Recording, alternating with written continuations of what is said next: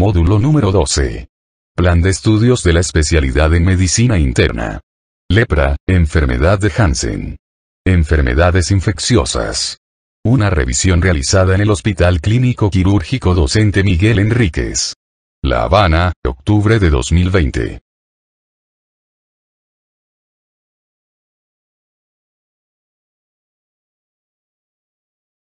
Contenido. Cuadro clínico. Complementarios. Diagnóstico positivo y diferencial. Complicaciones. Conducta terapéutica. Definición. La lepra, enfermedad de Hansen, es una infección crónica causada por Mycobacterium leprae, bacteria ácido alcohol resistente de crecimiento lento que aún no puede ser cultivada in vitro. La lepra se encuentra en todo el mundo, aunque tres países de elevada prevalencia, India, Brasil e Indonesia, dan cuenta en la actualidad de más del 80% de los casos declarados. Las manifestaciones primarias de la infección por Mycobacterium leprae se dan en la piel y en los nervios periféricos. Las lesiones cutáneas de la lepra son clásicamente hipopigmentadas, hipoestésicas o anestésicas y no pruriginosas. Los nervios periféricos pueden ser dañados por infección directa por Mycobacterium leprae o por la respuesta inmunitaria a la infección. La consecuencia es la pérdida de sensibilidad y de función motora. La morbilidad adicional se debe a disfunción de los nervios periféricos, que incluyen lesiones traumáticas y por quemaduras indoloras, infecciones bacterianas secundarias, y atrofia y contracturas musculares. La lepra per se no es causa de muerte, pero la debilidad que se asocia con ella contribuye a la intensidad de la pobreza y a la probabilidad de muerte por malnutrición u otras infecciones. A pesar de la baja transmisibilidad de Mycobacterium leprae y a la posibilidad de un tratamiento con múltiples fármacos para curar la lepra, sigue siendo una enfermedad estigmatizada que puede plantear un reto al diagnóstico y al tratamiento. Organismo patógeno. Mycobacterium leprae es un bacilo ácido alcohol resistente que contiene una pared celular rica en ácidos micólicos y una única membrana. A pesar de casi 150 años de esfuerzos, Mycobacterium leprae sigue siendo incultivable in vitro. Para su caracterización bioquímica y estructural, puede hacerse crecer en grandes cantidades Mycobacterium leprae en armadillos de nueve bandas, Dasypus novencintus, y la inoculación de las almohadillas plantares de ratones atímicos permite la semicuantificación de los bacilos viables. Genoma de Mycobacterium leprae. El genoma de Mycobacterium leprae consta de 3.268.203 pares de bases, en comparación con el genoma de Mycobacterium tuberculosis de 4.411.529 pares de bases, y el número de genes expresados de Mycobacterium leprae es aproximadamente un 60% inferior al de Mycobacterium tuberculosis. Dado que probablemente Mycobacterium leprae y Mycobacterium tuberculosis evolucionaron a partir de un ancestro micobacteriano común, parece que Mycobacterium leprae ha perdido aproximadamente 2.000 genes desde su divergencia, lo que lo ha dejado dependiente de nichos ecológicos especializados para su supervivencia. Entre los genes que faltan en Mycobacterium leprae están los del complejo MBT, cuyos productos están implicados en la adquisición bacteriana de hierro. Mycobacterium leprae carece también de muchos genes para la biosíntesis y modificación de lípidos que son característicos de Mycobacterium tuberculosis. La secuencia del genoma ha permitido también un planteamiento dirigido a la identificación de 16 cepas de Mycobacterium leprae de orígenes geográficamente diversos. Los análisis de secuencia genómica han revelado que la lepra fue introducida en Estados Unidos desde Europa, y que los armadillos del sudeste del país presentan la misma cepa específica que los enfermos nativos de Estados Unidos de estas regiones, lo que indica que estos animales pueden ser reservorios del patógeno. Epidemiología. La lepra se encuentra en todo el mundo, aunque la lepra endémica está ausente del norte de Europa, en donde estuvo presente en forma epidémica hasta incluso el siglo XIX. La prevalencia global de la lepra es de aproximadamente 180.000 casos conocidos, y la incidencia actual es de aproximadamente 220.000. Por definición del Plan Estratégico para la Eliminación de la Lepra de la Organización Mundial de la Salud, un paciente diagnosticado recientemente que ha sido tratado con tratamiento con múltiples fármacos es retirado del registro de prevalencia, lo que explica la menor prevalencia que incidencia de esta infección crónica. Desde el comienzo del plan estratégico de la Organización Mundial de la Salud, cuyo objetivo es eliminar la lepra como problema de salud pública, es decir, una prevalencia de menor que uno por cada 10.000 en todas las regiones, se estima que unos 14 millones de personas han sido curadas de la lepra.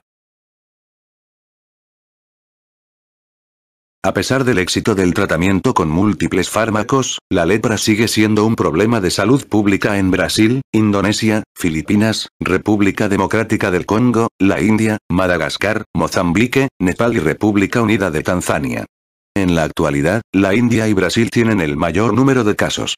Aunque la transmisión interior de la lepra es extraordinariamente infrecuente en Estados Unidos. Se diagnosticaron 82 casos de lepra en 2011, incluidos los casos de inmigrantes de India, Brasil, Filipinas, República Dominicana y México. Dado que la lepra no es muy transmisible, no se considera que sea una enfermedad de viajeros, aparte de inmigrantes. La incapacidad para cultivar Mycobacterium leprae in vitro ha constituido un obstáculo importante para la comprensión de los modos de transmisión y reservorios del organismo. Los estudios observacionales revelan una baja frecuencia de lepra en viajeros casuales o en residentes temporales en regiones con una elevada incidencia, lo que indica que Mycobacterium leprae no es muy transmisible. Incluso en áreas de elevada incidencia, son infrecuentes los agrupamientos de lepra fuera de familias u otros con un contacto íntimo prolongado. Se cree que la transmisión de Mycobacterium leprae se produce comúnmente por vía respiratoria, porque las secreciones nasales de personas con lepra lepromatosa pueden contener 107 bacilos viables por mililitro. Además, se cree que la transmisión de Mycobacterium leprae se produce por contacto con suelo contaminado, aunque no se ha observado que el suelo sea un reservorio de los bacilos. Biopatología. Inmunología. Existe una correlación inversa entre el número de linfocitos y el número de bacterias ácido-alcohol resistentes presentes en las lesiones cutáneas. Las lesiones tuberculoides tienen abundantes linfocitos, granulomas bien formados y pocas bacterias, de aquí que esta forma de lepra sea denominada también paucibacilar. En contraste, las lesiones lepromatosas tienen muy pocos linfocitos, granulomas mal organizados o ausencia de ellos, y grandes cifras de bacterias, también denominada lepra multibacilar. Entre estos extremos polares existen formas intermedias que representan un continuo de hallazgos histopatológicos y bacteriológicos, que se denominan tuberculoide limítrofe, limítrofe y lepromatosa limítrofe. Además de correlacionarse con el número de bacterias en las lesiones individuales, las formas polares de la lepra se correlacionan con el número total de lesiones cutáneas en un paciente dado. La lepra tuberculoide exhibe pocas lesiones, menos de 5, mientras que la lepra lepromatosa se caracteriza por lesiones múltiples, 5 o más, hasta cientos de ellas.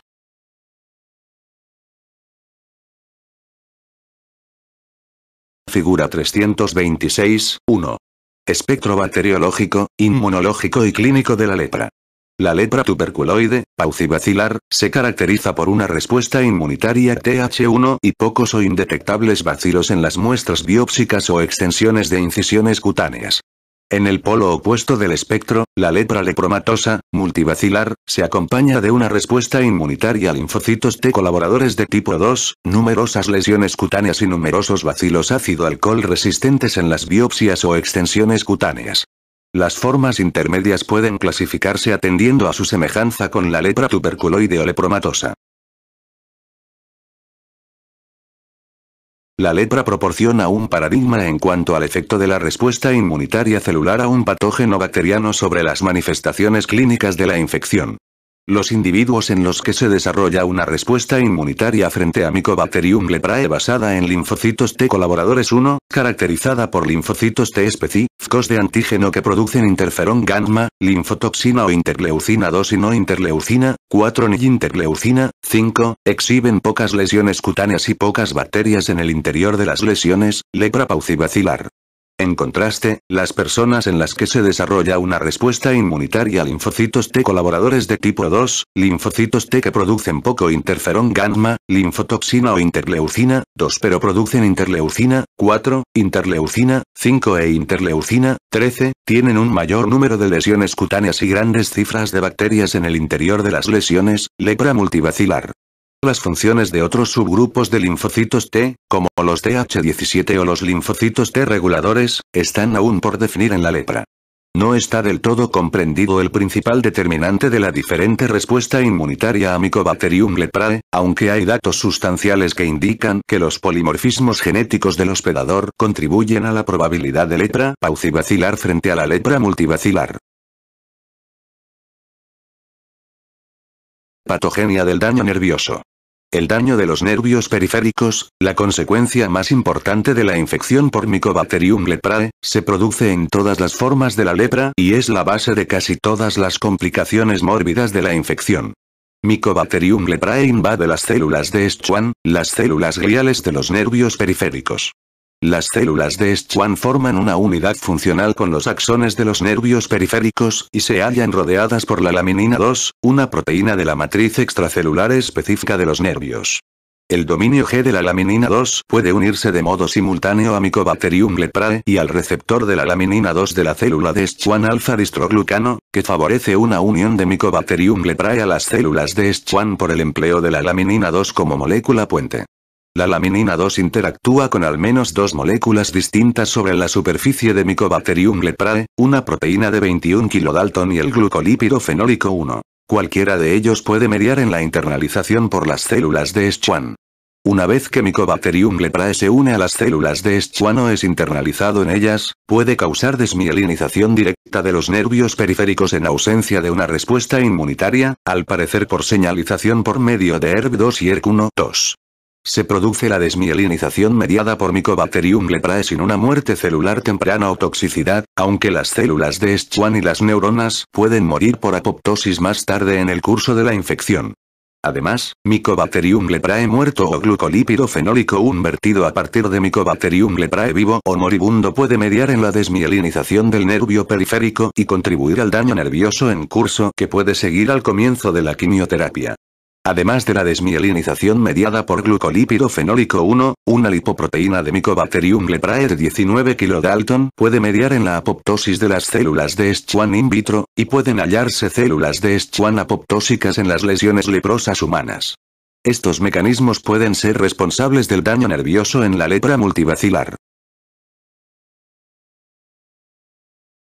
Además del daño directo sobre los nervios periféricos por Mycobacterium leprae, la respuesta inmunitaria en la lepra contribuye también al daño nervioso, especialmente en la lepra paucibacilar, tuberculoide, en la que las bacterias o glucolípido fenólico 1, o ambos, se hallan presentes en cantidad suficiente para causar daño nervioso generalizado, y en reacciones de inversión, en las que es particularmente prominente la inflamación. Varios mecanismos inmunológicos distintos contribuyen probablemente al daño nervioso en la lepra. Las citocinas proinflamatorias tales como el factor de necrosis tumoral alfa, interleucina 1 beta interferón gamma son especialmente prominentes en las lesiones durante las reacciones de inversión, cuando puede producirse un daño nervioso irreversible. Dado que estas moléculas pueden contribuir al daño tisular inflamatorio y pueden inducir apoptosis de las células de Schwann in vitro, es probable que estos mediadores desempeñen un papel activo en el daño nervioso. Las reacciones de inversión se caracterizan también por un aumento del número de linfocitos TCD4 en las lesiones, y al menos una parte de estos linfocitos TCD4 exhiben un fenotipo citotóxico y destruyen las células de Schwann infectadas por Mycobacterium leprae por una secreción del contenido de los gránulos citotóxicos dependiente de antígenos y del complejo mayor de histocompatibilidad de clase 2. No está establecido si estos mecanismos de daño nervioso se producen en la lepra tuberculoide crónica, pero se encuentran unas citocinas y linfocitos T similares en las lesiones tuberculoides. Genética. Los casos de lepra se agrupan en familias, probablemente por un medio ambiente compartido y una exposición similar, pero también probablemente por determinantes genéticos de susceptibilidad. Los locus genéticos cuyas variantes alélicas se relacionan con una susceptibilidad alterada a la infección por Mycobacterium leprae incluyen PARG2, NRMP1, factor de necrosis tumoral. TLR1, FCN2, linfotoxina, NOD2, RIC2, IL23R y RB32. La parquina, producto de PARG2, es una E3, ubiquitina ligasa que favorece la autofagia y la muerte de bacterias intracelulares, incluidas las micobacterias. NRMP1, NOD2, RIC2 y factor de necrosis tumoral. Son expresados por los macrófagos y las diferencias cuantitativas o temporales en su expresión pueden explicar las diferencias en la susceptibilidad innata a la infección. TLR1 y cicolina 2 son moléculas de reconocimiento de patrones que reconocen lipopéptidos y polisacáridos bacterianos, respectivamente, mientras que NOD2 y su cinasa posterior en la cadena de activación RIC2 se hallan implicadas en las respuestas al péptido glucano bacteriano.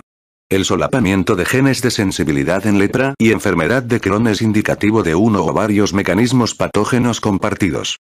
Los genes con polimorfismos asociados con una predisposición a formas clínicas distintas de lepra, es decir, lepromatosa o tuberculoide, incluyen antígeno leucocítico humano de ERB1 1501 y antígeno leucocítico humano de ERB1 1502, NRMP1, factor de necrosis tumoral. Interleucina, 10 y TAB2. Manifestaciones clínicas. Las manifestaciones más comunes de la lepra afectan a la piel y a los nervios periféricos, y vienen determinadas por la polaridad de la enfermedad. Paucibacilar, tuberculoide, o multibacilar, lepromatosa. El comienzo de la lepra suele ser insidioso. Dependiendo de la forma de la lepra, el entumecimiento puede ser una manifestación o hallazgo inicial, y las lesiones cutáneas pueden hacerse manifiestas solo meses años después. La clasificación de la lepra en tuberculoide, lepromatosa o una de las formas limítrofes se basa en la combinación de la exploración clínica, número de bacterias observadas en las extensiones cutáneas por incisión y raspado o muestras de biopsia de piel, y el aspecto histológico. Dado que la naturaleza de las complicaciones potenciales y el curso específico de la quimioterapia vienen determinados por la forma de la lepra, son esenciales un diagnóstico y una clasificación precisos. Lepra tuberculoide. La lepra tuberculoide se caracteriza por la presencia de menos de 5 lesiones cutáneas, que típicamente son máculas hipopigmentadas o eritematosas, con unos bordes eritematosos elevados y un centro atrófico. Las lesiones de la piel en la lepra tuberculoide suelen ser hipoestésicas o anestésicas. Cuando hay múltiples lesiones, su distribución es asimétrica. Las lesiones cutáneas pueden ser de gran tamaño y se encuentran muy comúnmente en la cara, tronco o extremidades. Sin embargo, no se encuentran en las axilas, las ingles, el perineo o el cuero cabelludo, presumiblemente por la preferencia de Mycobacterium leprae por temperaturas más bajas. Es común la afectación local de los nervios periféricos en la lepra tuberculoide y es asimétrica. Además de la hipoestesia o anestesia de las lesiones cutáneas, la afectación nerviosa en la lepra tuberculoide se manifiesta como un aumento de tamaño o dolor, o ambos, de los nervios periféricos que inervan la región de las lesiones cutáneas. Los nervios superficiales, tales como el cubital, peroneo superficial o nervios auriculares mayores, pueden observarse aumentados de tamaño, dependiendo de la localización de las lesiones cutáneas. Las complicaciones funcionales de la afectación nerviosa, tales como atrofia y contracturas musculares, pueden hallarse presentes en el momento del diagnóstico de la lepra tuberculoide. La lepra tuberculoide es una forma estable. No se convierte a las formas limítrofes o lepromatosa. Lepra lepromatosa. La lepra lepromatosa se caracteriza por múltiples lesiones cutáneas que son más pequeñas que las observadas en la lepra tuberculoide. Aunque las localizaciones de las lesiones cutáneas son similares a las de la lepra tuberculoide, las múltiples lesiones de la lepra lepromatosa se hallan con frecuencia distribuidas de modo simétrico. Las máculas lepromatosas pueden tener unos bordes mal definidos y no exhiben pérdida de sensibilidad. El aumento de tamaño local del nervio no es característico. Además de máculas, las lesiones cutáneas lepromatosas pueden ser nódulos o placas, o pueden infiltrar difusamente la piel, especialmente en la cara, lo que puede causar pérdida de las cejas o facies leonina. La afectación nerviosa en la lepra lepromatosa es característicamente simétrica y exhibe una distribución en guante calcetín, no relacionada con la localización de las lesiones cutáneas. La afectación del nervio periférico puede manifestarse inicialmente como una pérdida de la sensibilidad térmica, que se sigue de una pérdida de la sensibilidad al tacto ligero, dolor y sensibilidad a la presión profunda. Además, es común la disestesia. Las complicaciones motoras, que incluyen debilidad muscular y atrofia de los músculos de las manos, pies y cara, se desarrollan en ausencia de una quimioterapia antileprosa eficaz. La afectación del nervio facial puede dar lugar a exposición corneal, ulceración y ceguera. Las personas con lepra lepromatosa pueden tener también rinorrea prominente como consecuencia de la afectación de la mucosa nasal, y pueden arrojar cifras importantes de Mycobacterium leprae por las secreciones nasales, una de las principales fuentes de transmisión de los bacilos a otros individuos. Al igual que la lepra tuberculoide, la lepra lepromatosa es estable. No se produce la conversión a otras formas.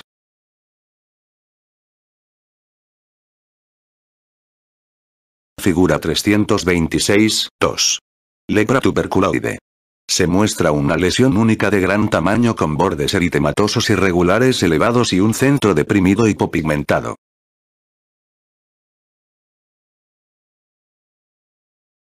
Figura 326, 3. Lepra lepromatosa. Son manifiestas numerosas pápulas y nódulos. Las máculas lepromatosas tienen unos bordes mal definidos, con una sensibilidad normal mantenida generalmente. Formas limítrofes de la lepra. La lepra tuberculoide limítrofe se caracteriza por lesiones cutáneas similares a las de la lepra tuberculoide, pero son más numerosas y pueden acompañarse de lesiones satélites alrededor de las lesiones de gran tamaño. En la lepra limítrofe las lesiones cutáneas son numerosas, pero siguen siendo asimétricas. Las lesiones suelen ser placas en vez de máculas y exhiben lesiones satélites. La afectación nerviosa en la lepra limítrofe se manifiesta como un engrosamiento o hipersensibilidad de los nervios locales, pero las lesiones cutáneas retienen la sensibilidad. La lepra lepromatosa limítrofe se caracteriza por numerosas máculas pequeñas simétricas, pápulas, placas y nódulos, pero no la infiltración cutánea difusa que se encuentra en la lepra lepromatosa florida. A diferencia de la lepra tuberculoide y lepromatosa, las formas limítrofes son inestables y progresan a la forma lepromatosa con el tiempo, a menos que se aporte un tratamiento eficaz. Los estados reactivos, que incluyen las reacciones de inversión y de disminución de grado, se producen en personas con formas limítrofes de la lepra. Estados reactivos. Las personas con lepra que de otro modo pueden evitar la asistencia exhiben síntomas y signos reactivos agudos. Los médicos de los países desarrollados pueden encontrar pacientes con estados reactivos en los ámbitos de asistencia médica aguda. Las reacciones de tipo 1, mediadas por respuestas inmunitarias celulares a los antígenos de Mycobacterium leprae en las lesiones cutáneas y en los nervios, se dan en personas con lepra tuberculoide limítrofe, limítrofe y lepromatosa limítrofe. Las reacciones de tipo 1 se acompañan frecuentemente de empeoramiento de las manifestaciones de los nervios periféricos, y pueden dar lugar a daño nervioso permanente. Deben ser consideradas emergencias médicas. Las reacciones de inversión, que son reacciones de tipo 1 que se producen después de haber comenzado el tratamiento de la lepra o de la infección por el virus de la inmunodeficiencia humana, se asocian con un aumento de las respuestas inmunitarias linfocitos T colaboradores de tipo 1 que se desarrollan en personas con una gran carga de Mycobacterium leprae. Son más intensas en las personas afectas de lepra lepromatosa limítrofe. Las reacciones de disminución de grado se producen en asociación con la transición de la enfermedad limítrofe hacia la forma lepromatosa. Aunque se cree que los mecanismos inmunitarios que se hallan en la base de las reacciones de inversión y en las reacciones de disminución de grado son distintos, sus manifestaciones clínicas son indistinguibles. Las reacciones de tipo 1 pueden tener un comienzo agudo o insidioso y se caracterizan por inflamación de las lesiones cutáneas y nerviosas preexistentes. Las lesiones cutáneas, que se vuelven eritematosas y edematosas, pueden tornarse también hipersensibles y, por ello, asemejarse a la celulitis, pero las reacciones de tipo 1 no se acompañan de fiebre ni de otros síntomas o signos sistémicos. Se ha observado un aumento de la expresión de factor de necrosis tumoral en las lesiones durante las reacciones de tipo 1 y pueden contribuir a las consecuencias clínicas y funcionales. Además, se han descrito reacciones de tipo 1 cuando se ha retirado el tratamiento con antagonistas de factor de necrosis tumoral. Después del diagnóstico de lepra lepromatosa limítrofe. Recientes análisis transcriptómicos también han implicado al sistema del complemento en la patogenia de las reacciones de lepra de tipos 1 y 2, 7. Las reacciones de tipo 2, conocidas también como eritema nudoso leproso, se producen en personas con lepra lepromatosa limítrofe y lepra lepromatosa. Pueden estar mediadas por inmunocomplejos en vez de respuestas inmunitarias celulares. Las reacciones de tipo 2, que se dan con mayor frecuencia después del comienzo de la quimioterapia antileprosa o durante el embarazo, se acompañan generalmente de fiebre y atralgias. Puede haber otros signos de enfermedad inflamatoria sistémica, como hepatoesplenomegalia, linfoadenopatía, artritis, nefritis, queratitis e iritis. Las lesiones cutáneas del eritema nudoso leproso se asemejan a las del eritema nudoso clásico, con unos nódulos eritematosos dérmicos y subcutáneos ampliamente distribuidos cuya localización no guarda relación con las lesiones leprosas. La biopsia de las lesiones del eritema nudoso leproso muestra vasculitis leucocitoclástica. Lepra y virus de la inmunodeficiencia humana. La inmunidad mediada por linfocitos TCD4 es esencial para el control de Mycobacterium leprae, y la extensión de la inmunidad linfocitos T colaboradores de tipo 1 determina si un individuo padecerá la lepra tuberculoide o la lepra lepromatosa. Sin embargo, la coinfección por el VIH y la reducción de los linfocitos TCD4 no afectan a la velocidad de progresión de la lepra, ni causan conversión de la lepra tuberculoide a la forma lepromatosa.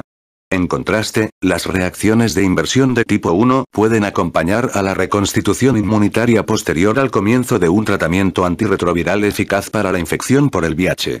Las manifestaciones de estas reacciones de inversión son similares a las observadas en personas no infectadas por el VIH.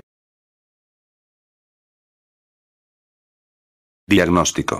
Debe considerarse el diagnóstico de lepra en cualquier paciente con un complejo de manifestaciones cutáneas y periféricas, especialmente en los que han vivido en países con lepra endémica. Aunque la lepra es una infección crónica, sus complicaciones agudas requieren un pronto diagnóstico y tratamiento para prevenir el daño irreversible de los nervios periféricos. Es también importante clasificar la enfermedad de un paciente como tuberculoide, lepromatosa o en una de las formas limítrofes, porque se requiere una clasificación correcta para seleccionar un tratamiento óptimo y anticipar los posibles estados reactivos. Dado que no puede cultivarse Mycobacterium leprae in vitro y que en la actualidad no existe una prueba serológica u otro biomarcador diagnóstico fable de la lepra, el diagnóstico y la clasificación de la lepra dependen de la combinación del examen clínico, evaluación histopatológica y tinción para bacilos ácido alcohol resistentes de incisiones de piel o de muestras biópsicas. Examen clínico. La exploración física de un individuo con lepra posible o confirmada debe incluir la evaluación y documentación del número, localización y características de las lesiones cutáneas. Además de las descripciones de las lesiones cutáneas, una clasificación precisa de la lepra depende de si las lesiones se distribuyen de modo simétrico y de si son hipoestésicas o anestésicas. La exploración debe incluir también una búsqueda de 1. Nervios periféricos con aumento de volumen e hipersensibles. 2. Presencia de deficiencias sensitivas, especialmente sensibilidad térmica y dolorosa, y 3. Úlceras cutáneas, y la naturaleza y distribución de las deficiencias motoras, atrofia y contracturas musculares. Dado que algunas medicaciones que se emplean en el tratamiento de la lepra están contraindicadas en el embarazo, las mujeres en edad de concebir deben ser evaluadas en relación con el embarazo. Extensiones y biopsias de piel. En los países en desarrollo, la clasificación de la lepra multivacilar o paucivacilar se efectúa por la combinación de los hallazgos de la exploración clínica y de los recuentos bacterianos determinados en las extensiones para bacilos ácido alcohol resistentes efectuados sobre incisiones de las lesiones y de la piel de áreas frías del cuerpo, tales como los lóbulos de la oreja. En los países desarrollados se suelen efectuar biopsias de piel en lugar de incisiones cutáneas. Las muestras cutáneas deben obtenerse a partir de los bordes activos de las lesiones y deben incluir tejido subcutáneo. En la tinción con hematoxilina eosina la lepra tuberculoide se caracteriza por granulomas con células gigantes, agregados de macrófagos epitelioides que ni son vacuolados ni espumosos, y linfocitos en la periferia. Aunque pueden encontrarse granulomas en otras enfermedades de la piel, la destrucción selectiva de los troncos nerviosos y la fibrosis perineural son rasgos específicos de la lepra. Las tinciones para bacilos ácido alcohol resistentes, preferiblemente efectuadas con el procedimiento de FIGHT, muestran infrecuentes o indetectables bacilos en la lepra tuberculoide. Las lesiones de la lepra lepromatosa muestran unos granulomas mal organizados sin células gigantes o linfocitos. Los macrófagos son espumosos y cargados de lípidos. La tinción para bacilos ácido alcohol resistentes de las lesiones de la lepra lepromatosa pone de manifiesto abundantes bacilos que, por lo general, se muestran en grandes masas, globos. Las formas limítrofes de la lepra exhiben unos granulomas peor organizados, con un menor número de células gigantes y linfocitos pero más macrófagos espumosos y bacilos ácido alcohol resistentes a medida que el espectro varía de la forma tuberculoide limítrofe a la forma lepromatosa limítrofe. Las tinciones inmunohistoquímicas especializadas, tales como las que buscan la expresión de linfocitos TCD4 o de citocinas, son de utilidad en estudios de investigación, pero no se utilizan en la actualidad para el diagnóstico o clasificación de la lepra. La amplificación por la reacción en cadena de la polimerasa del ADN genómico de Mycobacterium leprae de muestras de incisiones de piel o de biopsias cutáneas no ha contribuido aún a una mayor sensibilidad o especificidad del diagnóstico o clasificación. Diagnóstico de los estados reactivos. El diagnóstico de las reacciones de tipo 1 se basa en los hallazgos clínicos en un paciente con lepra tuberculoide limítrofe, limítrofe o lepromatosa limítrofe y la inflamación aguda de las lesiones cutáneas preexistentes, con o sin empeoramiento de las lesiones nerviosas. Las reacciones de tipo 1 no se acompañan de hallazgos sistémicos como fiebre o artritis.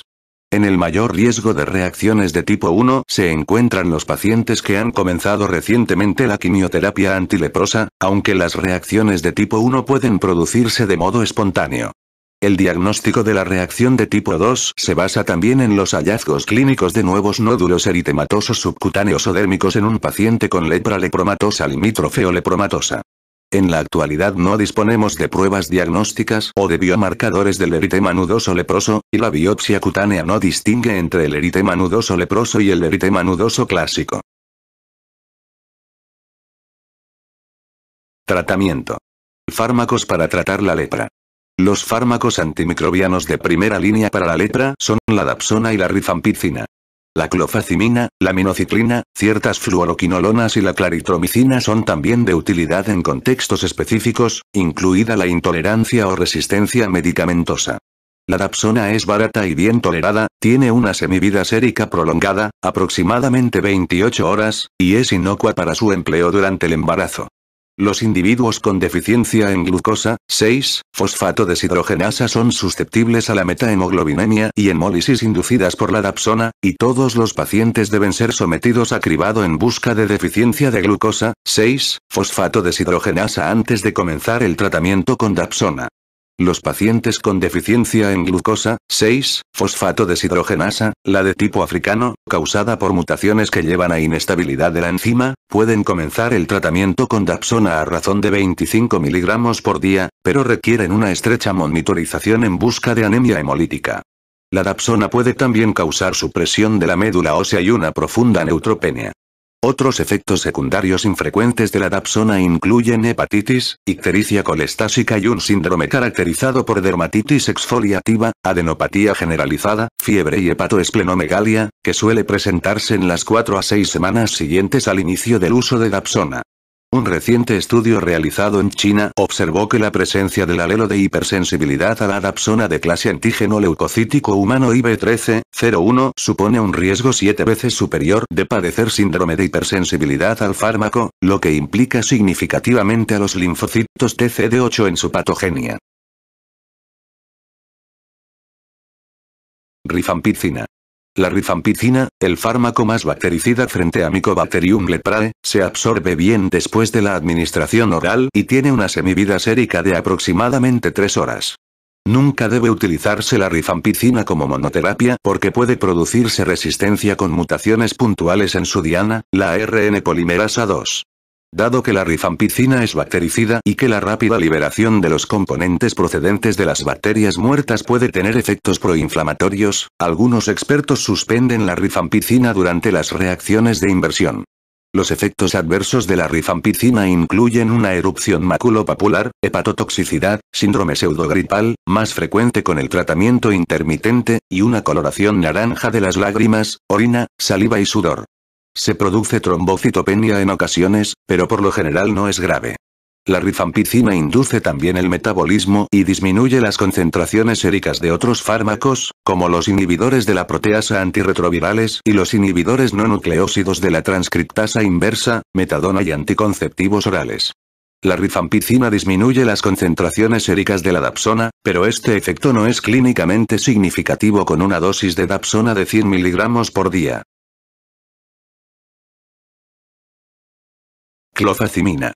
La clofacimina es un colorante lipófilo que es bacteriostático frente a Mycobacterium leprae. Tiene una semivida muy prolongada, aproximadamente 70 días, y parece tener actividad antiinflamatoria, así como actividad bacteriostática directa. Por su actividad antiinflamatoria, la clofacimina es útil en el tratamiento de los estados reactivos de tipo 1. La clofacimina es generalmente bien tolerada. Su principal efecto secundario es una discromía de la piel, que se produce en la casi totalidad de los pacientes tratados con clofacimina. La discromía cutánea puede variar entre un color tostado rojizo a negro azulado y puede ser en manchones, pero es reversible en los 6 a 12 meses siguientes a la suspensión del fármaco. En los pacientes reactivos crónicos mantenidos con dosis altas de clofacimina, 200 a 300 miligramos por día, puede producirse una enteropatía con dolor abdominal cólico, náuseas o diarrea ligeras, o ambos fenómenos, e incluso obstrucción intestinal. Regímenes para el tratamiento de la lepra. La quimioterapia para la lepra implica el empleo de múltiples fármacos para optimizar la tasa de curación y prevenir la aparición de resistencia a fármacos. El régimen utilizado actualmente en Estados Unidos contra la lepra paucibacilar, tuberculoide y tuberculoide límite, en adultos consta de la dapsona, 100 mg, y la rifampicina, 600 mg, administradas diariamente durante 12 meses. El régimen recomendado para la lepra multivacilar en adultos es la dapsona, 100 mg, más la rifampicina, 600 mg, y la clofacimina, 50 mg, administradas diariamente durante 24 meses. La clofacimina no está comercialmente disponible en la actualidad, pero en Estados Unidos puede conseguirse a través del National Hansen's Disease Program. En países con recursos limitados, con carga de lepra máxima, el régimen de la Organización Mundial de la Salud para la lepra paucibacilar es la dapsona, 100 mg diariamente, más la rifampicina, 600 mg una vez al mes, durante 6 meses.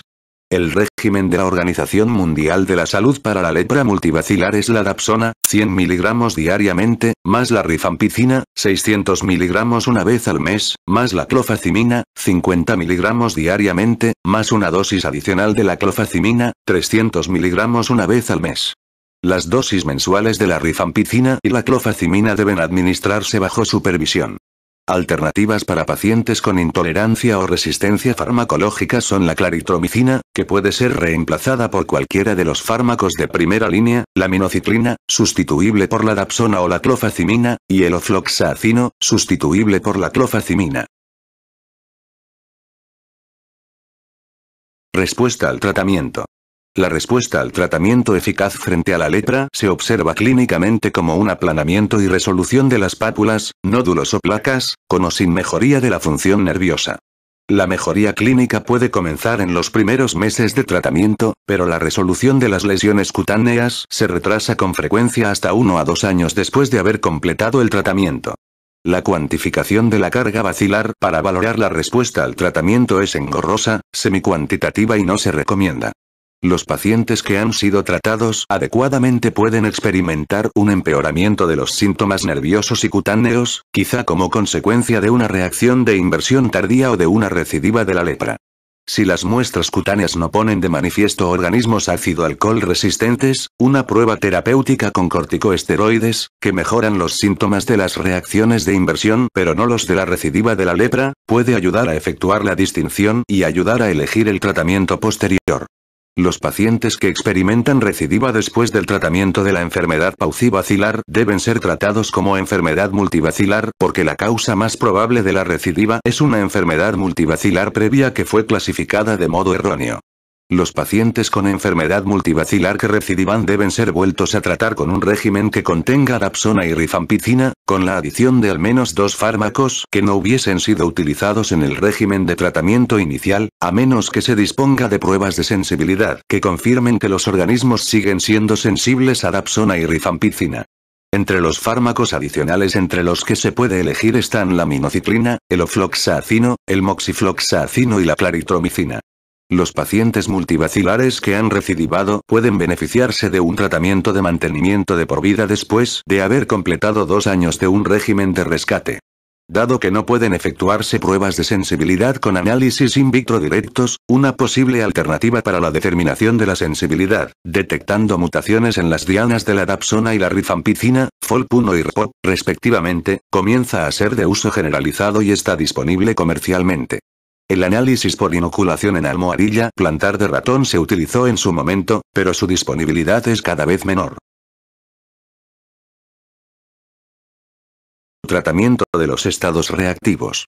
Las reacciones de tipo 1 pueden desarrollarse antes, durante o varios años después de haber completado la quimioterapia antileprosa. Las reacciones de tipo 1 que implican un empeoramiento de los síntomas de los nervios son emergencias médicas porque puede producirse un daño nervioso permanente. Las reacciones de tipo 1 suelen responder a la prednisona a una dosis diaria de 60 a 80 miligramos, que puede disminuirse lentamente una vez han sido controlados los síntomas.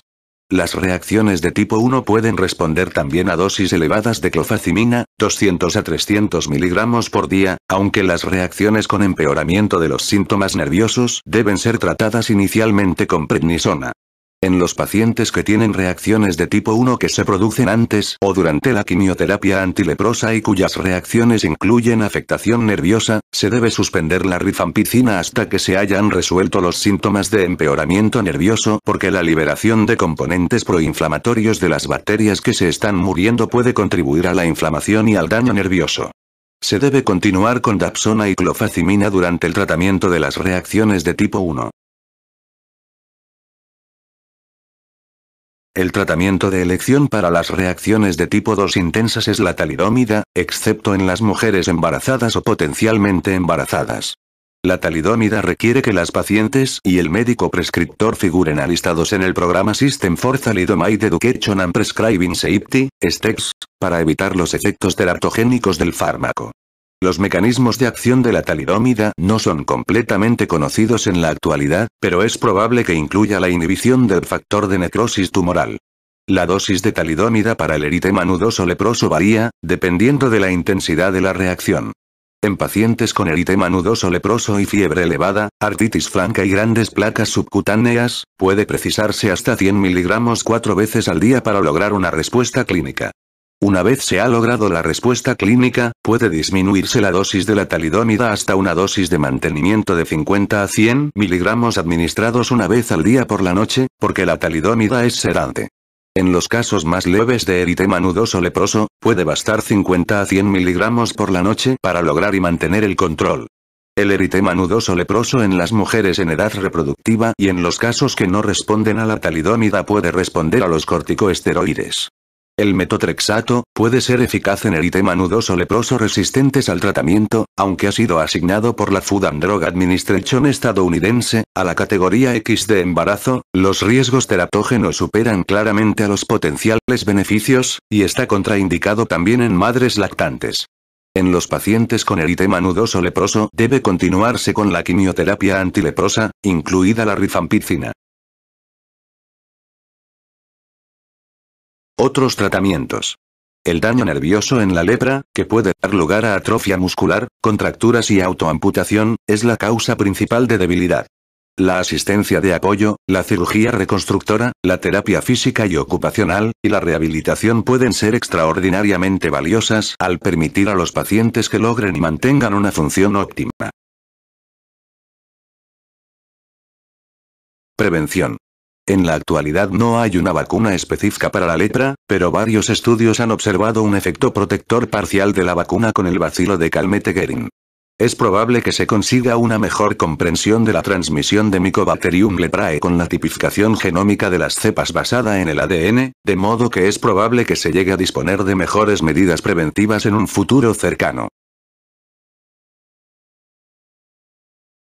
Pronóstico. La quimioterapia con múltiples fármacos cura una elevada proporción de personas con lepra paucibacilar y multivacilar. Los regímenes recomendados en la actualidad aportan unas elevadas tasas de respuesta, con tasas de recidivas de aproximadamente 0,1% por año en los casos paucibacilares y hasta el 5% por año en los casos multivacilares.